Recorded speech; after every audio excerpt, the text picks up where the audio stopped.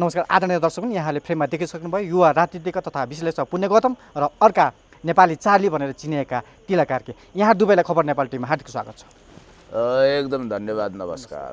पुण्यजी बिना सापकोटा अझै फेला परिरहेकी छिनन्। उहाँको आमा र घर परिवारहरू एकदमै रोइरहेको छ। यसको चाहिँ अझै पनि कुनै एउटा रिजल्ट आएको छैन। तपाईँको पछिल्लो अपडेट के छ यसमा? बिना तिमी कहाँ बेपत्ता छौ तिम्रो अवस्था के छ? बिना आखिर कहाँ छिन्? कुन दुनियाँमा छिन्? हामी आशा गर्छौँ बिना अहिले पनि जीवित छिन्। बिनाको विषयमा अनर्गल हल्ला नफैलाइदिनु। कतिले भनेका छन् बिना उर्लिरहेको नारायणीमा हाम फालेर लापत्ता भइन्। बिना कहिले नफर्कने गरी विदा भइन्। तर हामी यो कुरा विश्वासै गर्न चाहँदैनौँ। बिना यही धरतीमा छिन् कतै छिन् र एक दिन अवश्य आउने छिन्। यसो भन्दै हँसमुख भएर बुवा आमा म फर्केर आएँ नि। कति दिन म बाहिर बसेँ कस्तो लाग्यो यहाँ भन्ने छिन्। र प्रवेश जसले उनको जिन्दगीमाथि खेलवाड गर्यो उसँग फाइनल हिसाब किताब गरेर आफ्नो जिन्दगीको नयाँ पटकथा लेख्ने छिन् र बिनाको जिन्दगी सुखमय हुनेछ र बिना अहिले जहाँ छिन् त्यहाँ सही सलामत छिन् सकुशल छिन्। हद से हद भए बिनालाई नियन्त्रणमा केही त्यस्ता कुत्सित मनसाय बोकेका गलत मान्छेहरूले बिनालाई नियन्त्रणमा राखेका छन्। नेपाल प्रहरीको यो ड्युटी हो हामी नेपाल प्रहरीलाई देशभक्त बर्दिवाल ठहराउनको निम्ति उसले आकाश पाताल दुई पाताल यत्र तत्र सर्वत्र तिन त्रिलोक चौध भुवन जताततैबाट खोजेर भने पनि बिना सापकोटाको विषयमा सत्य तथ्य ल्याउनु पर्यो। एकातिर छेउमा उही नवलपरासी गैँडाकोट अथवा चितौनको काखमा बगिरहेको छ नारायणी। अर्कोतिर बिनाको आमा र बुवा आफन्तजनहरूको आँखामा बगेको छ अर्को नारायणी। झुटा खबरहरूको बाढी लागेको छ। घरि बिनाको यो भेटियो भनेको छ ऊ भेटियो भनेको छ। र बिनालाई सकुशल देख्न नचाहने आपराधिक तत्त्वहरू पनि यहाँ हाबी भएको मैले देखेको छु। र हामी चाहन्छौँ बिना आउने छिन् अवश्य आउने छिन्। डोरबहादुर विष्ट त आउँछन् भनेर केशरबहादुर विष्टहरू आसमा बस्नु भएको छ।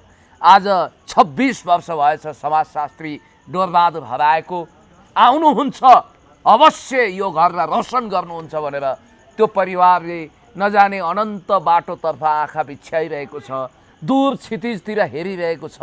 बिना त आज दस बाह्र दिन भएछ अवश्य आउने छिन् हामीले आशा लिएका छौँ।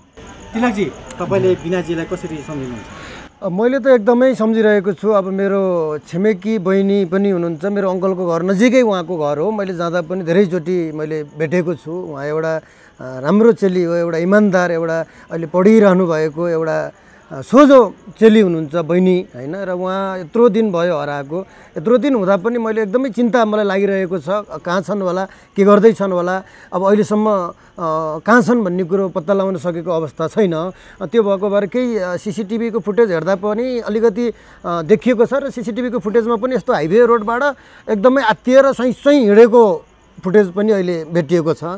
र त्यो हेर्दा कसैले अलिकति चिन्ता तनाव दिएर कसैले अलिकति कुनै चोट दिएर त्यो चिन्ताले गर्दाखेरि अलिकति छोडेर कतै एकान्तमा गएर बस्नुभएको हो कि कतै गएर हो कि अथवा कुनै अ, नरपिचासहरूले कतै कुनै कुनातिर लएर अ, राखेका छन् कि अथवा के छ भन्ने विषयमा पनि अब पत्ता लगाउन सकेको छैन। त्यो भएको भएर अब आज यत्रो दिन भइसकेको छ र बिना बहिनी जहाँ हुनुहुन्छ अब सकभर यो भिडियो हेरेर पुण्य दाइले र मैले बोलिरहेका छौँ हामीले आवाज उठाइरहेका छौँ। यो हेरेर तपाईँ कतै हुनुहुन्छ भने पनि घर फर्किनुहोस् किनभने तपाईँको बुवा मम्मीहरूलाई कति चिन्ता भएको छ किनभने एउटा आमालाई सन्तानको कति धेरै पिर हुन्छ कति धेरै माया हुन्छ कति धेरै पीडामा हुनुहुन्छ होला भनेर पनि मैले भनिरहेको छु।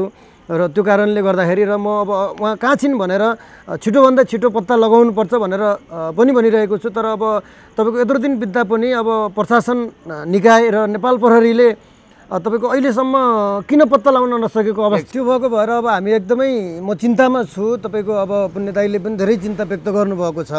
र तपाईँको अब एकपछि अर्को अर्कोपछि अर्को चितवनमा घटनाहरू बढ्दो भइरहेको छ। र त्यही माथि अब तपाईँको अब यति हुँदा पनि तपाईँको अब सुरक्षा निकायबाट भनौँ या तपाईँको अब सरकारबाट भनौँ अब कुनै पनि एउटा अब त तपाईँको दिदीबहिनीहरूलाई त जोगाउनु त गाह्रो भइसक्यो। घरबाट निक्लेका दिदीबहिनीहरू बेलुका निक्लेका अब आउँदैनन् होइन? अब घरबाट बाहिरै निक्लिन डर भयो- हुने भयो। अब बाँकीहरूलाई पनि डर भयो। अब कहिलेसम्म यस्तो हुने हो? र त्यो भएको भएर तपाईँको अब यो कारणले गर्दाखेरि अब यो अब एकपछि अर्को घटनाहरू बढिरहेको छ होइन? त्यो भएको भएर अलिकति मलाई एकदमै चिन्ता लागेको छ। यो दुःखदायी पीडादायी घटना त्यो परिवारको निम्ति सबभन्दा ठुलो बोझ र पीडा बन्छ। होइन भेटिन्छन्। मैले त पुरा भरोसा लिएको छु। मैले चितवनमा पनि फोन गरेको थिएँ। यस्ता कैयौँ दुर्लभ घटनाहरू जहाँ मानिसहरू वर्षौँपछि बिसौँ पचासौँ वर्षपछि पनि फर्किएर फिल्मी स्टाइलमा आफ्नो घरमा आएका छन्। बिना आज हराएको त एक डेढ हप्ता भयो डेढ हप्ता भयो। उनी जहाँ छिन् सही सलामत आफ्नो घरमा आउने छिन्। मैले भरोसा लिएको छु। कुनै दुष्ट व्यक्तिले उनलाई कब्जामा राखे कि? अथवा उनी आफ्नै राजी खुसीका साथ घर परिवारलाई दङ्ग्याउन घुर्काउन पो काहीँ बसिन् कि? बिना तिमी जहाँ छौ सही सलामत खुसी राजीका साथ आफ्नो पिता माताहरूको आँखाबाट अविरल आँसु बगेको छ आफन्तजनहरू पीडामा हुनुहुन्छ कति दुःख भएको छ कति दर्द भएको छ तर एउटा कुरा म तपाईँलाई के भन्न चाहन्छु भने बिना आत्महत्या गर्न सक्ने लेभलको युवती नै होइनन् र उनी हरेस सरेस दुवै नखाने व्यक्तित्व हुन्। त्यस कारणले गर्दाखेरि याद गर्नुहोला कि बिना अवश्य पनि आउने छिन्। र बिनाको परिवारजनलाई जुन पीडा परेको छ जुन दुःख भएको छ त्यो अवर्णनीय छ। र यो जुन पीडा जुन दुःख जुन कष्ट जुन एउटा वेदना छ त्यसको लेभल तपाईँले कल्पनै गर्न सक्नुहुन्न। चितवनमा बार बार यस्तो घटनाहरू घट्नुको कारण धेरै हुन सक्छन्। जस्तो चितवनको सेक्युरिटी फोर्सेसले आफ्नो काम गरेको होला।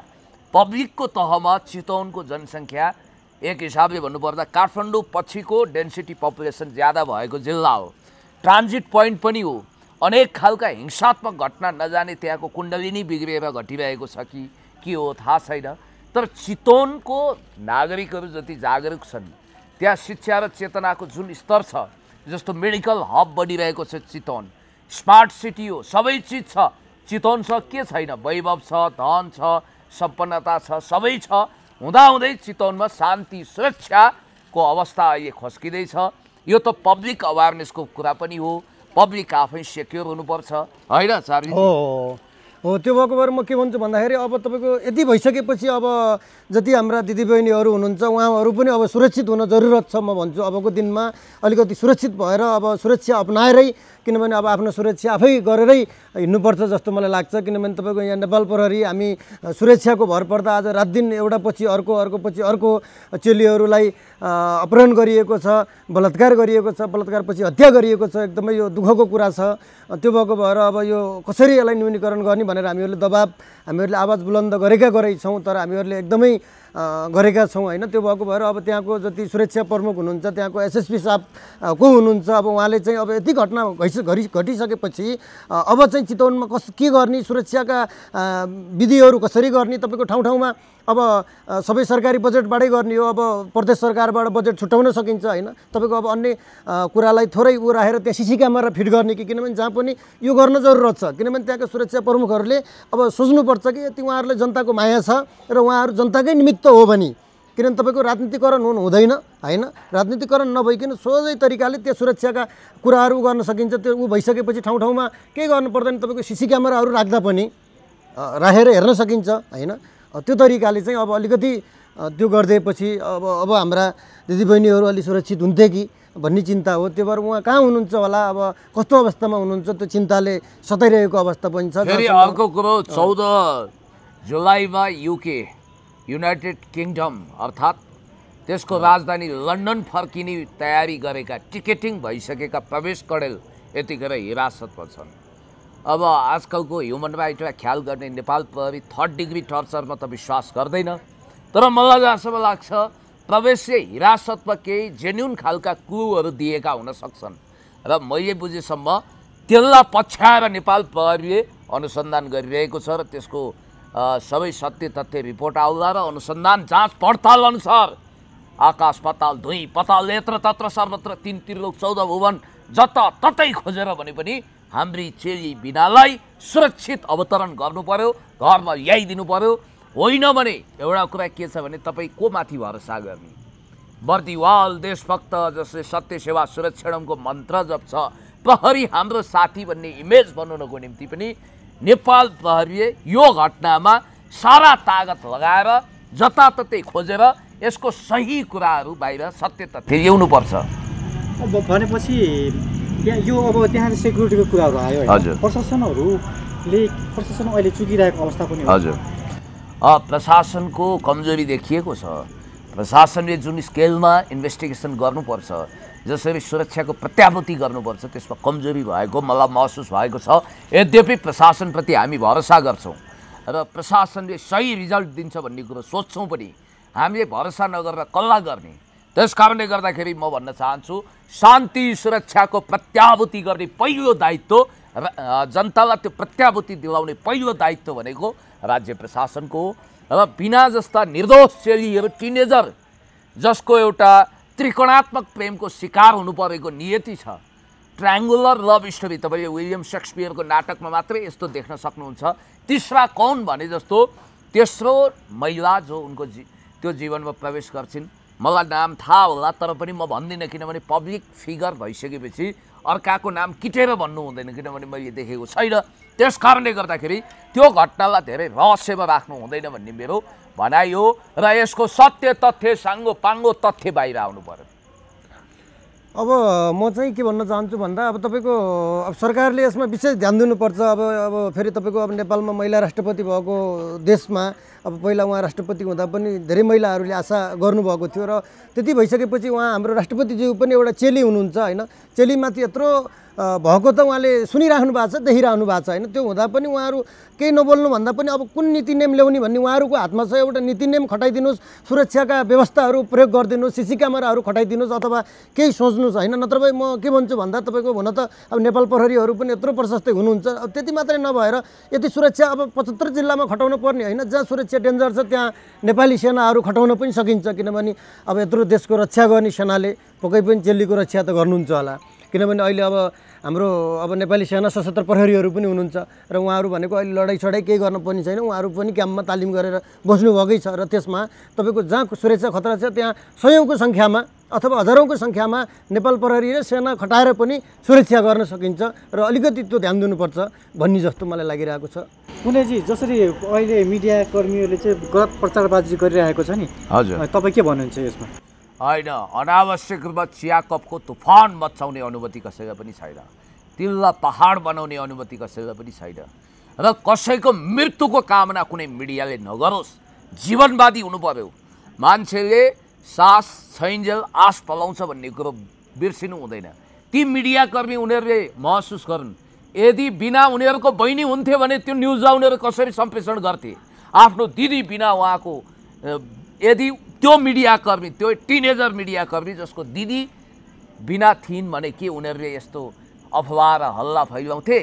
होइन पुण्यजी? हामी पनि झुक्यौँ थाङ्नामा सुत्यौँ तपाईँलाई थाहा छ तपाईँ हामी जस्तो एउटा सुपर कन्सियस भएको मान्छे समेत त्यहाँनिर झुकिएका छौँ। खैर जे होस् जिम्मेवार तरिकाले कसैले पनि उनको लास भेटियो भन्ने हल्ला चलेपछि यस्तो टाइपको न्युज सम्प्रेषण नगरौँ। यो घातक छ। ब्रेकिङ भनेर। तपाईँलाई टिआरपी बढाउन भ्युज बढाउन अनेक खालका फन्डा मचाइरहनु पर्ने जरुरी छैन। सत्य तथ्य निष्पक्ष सूचना सम्प्रेषण गर्नुहोस्। तपाईँ लङ रेसको घोडा हो भने दुई दिने छोरी फेरि दुई दिन झिलिक्क देखिने धुमकेतु बन्ने। त्यसपछि नेपाली सूचना आकाशमा सदाको लागि विलय हुने। विश्वसनीयता गुमाउने कुरा छ भने एउटा कुरो होइन भने आफूलाई सम्हाल्नु सत्य तथ्य सूचना सम्प्रेषण गर्नुहोस् ताकि पत्रकारिताप्रति मान्छेको भरोसा बढोस् र बिना अहिले पनि सुरक्षित छिन् अथवा असुरक्षित छिन् त्यो सेकेन्डरी कुरा हो तर बिना अवश्य पनि आफ्नो घर आउने छिन् भन्ने म्यासेज दिउँ। धेरै धेरै धन्यवाद र जाँदा चाहिँ के छ भने? अ, जोगेश्वर सापकोटा जो आँसुमा डुबिरहनु भएको छ बिनाको मम्मी परिवारजन उहाँहरूलाई परेको पीडालाई म महसुस गर्न सक्छु। खुकुरीको चोट अचानकलाई थाहा हुन्छ। चाँडै बिना फर्किउन्। यो भिडियो हेरिरहेकी छिन् भने पनि आइदिउन् म यही भन्न चाहन्छु परिवारको पनि एकदमै आशा छ बिना चाँडै फर्केर आउँछिन् भनेर घर परिवार बुवा मम्मीहरू सबैजनाले पनि उहाँलाई कुरेर इन्तजार गर्नुभएको छ र बिना बहिनी चाँडै नै फर्केर आउनुहुनेछ भन्ने परिवारको आश पनि छ र उहाँ आउनुहुन्छ नै पक्कै पनि आउनुहुन्छ भन्ने आशमा पनि हाम्रो। समय बितेको छ त्यो भएको भएर अब सम्पूर्ण मिडियाहरूलाई पनि जेपिटी यस्तो उस्तो भनेर अलिकति अपुस नहालिदिनु होला किनभने अहिले प्याट्टै त्यो नबोलिदिनु होला फेरि घर परिवारलाई पनि कति तनाव माफ हुन्छ होला होइन त्यो भएको भएर सबै चेलीबेटी सबै दिदीबहिनी सबै आफ्नै सम्झिनु होला होइन हम नेपाल टेलिभिजनमा एसबिजी प्रति हार्दिक आभारी। हार्दिक आभारी धन्यवाद। छौँ धन्यवाद